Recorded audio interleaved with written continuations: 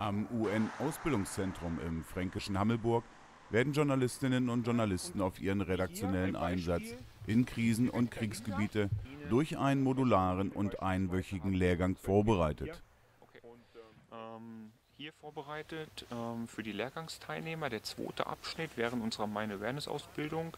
Ähm, das ist eine kurze Beobachtungsübung für unsere Lehrgangsteilnehmer. Das heißt, wir haben in diesem Bereich verschiedene Minen, verschiedene Kampfmittel verbracht und ich habe den Lehrgangsteilnehmern jetzt fünf Minuten Zeit gegeben, ähm, diesen Bereich zu scannen und einfach mal zu sehen, ähm, was liegt dort eigentlich und wie schwer sind gewisse Kampfmittel bzw. Minen einfach zu erkennen aufgrund der, von Witterungseinflüssen bzw. wenn das Gras ziemlich hoch ist, wie schwer ist es, verschiedene Minen oder Kampfmittel zu erkennen. Wenn wir jetzt was Sicheres hätten als Beispiel?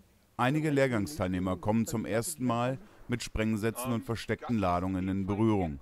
Sie können in Krisengebieten zur täglichen und potenziellen Gefahr für Journalisten werden.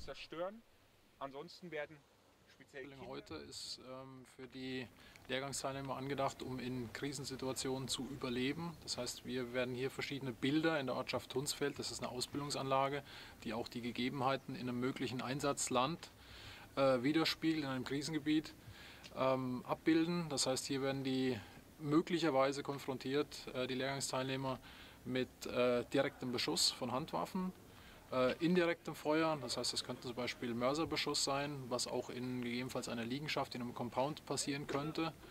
Äh, und auch ähm, direkte Bedrohung durch Menschenmengen und durch Handgranaten.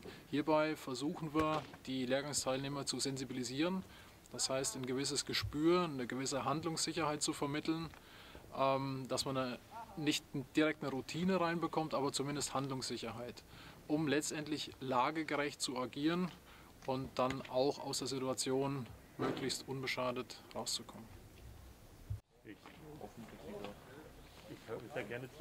Sensibilisierung, der erste Kontakt mit Waffen und Sprengmitteln und maßgebliche Verhaltensregeln beim Einsatz in einem Krisengebiet sind die ersten Herausforderungen für die Lehrgangsteilnehmer am ersten Tag ihrer Ausbildung in Hammelburg.